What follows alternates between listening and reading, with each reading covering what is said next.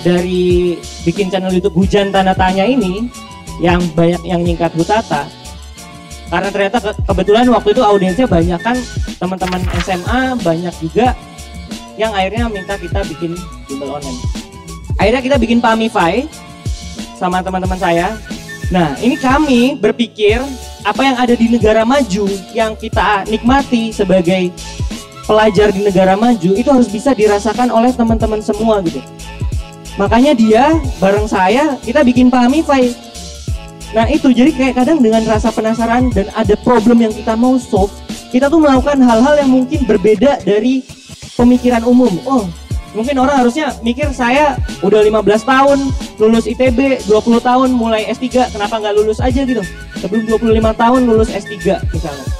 Atau teman saya ini dia PhD di machine learning, kenapa nggak bikin riset di luar aja, jadi researcher di luar? atau sebenarnya dia juga bisa jadi dosen di universitas di yang sangat terkenal di dalam negeri. Tapi enggak dia memilih bikin Pahamify ini.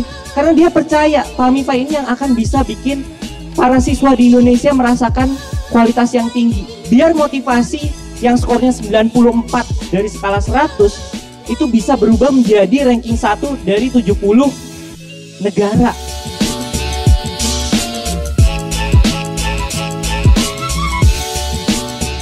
Ya teman-teman, uh, lihat nih aku dapat uh, voucher dari Pamify gratis selama 3 bulan.